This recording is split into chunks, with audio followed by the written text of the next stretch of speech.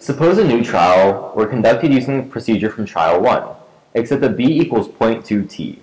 Based on the results of study 2, VH for this trial would most likely be, looking at study 2, we see that as we increase b, VH also increases. But in study 1, b is equal to 0.6t.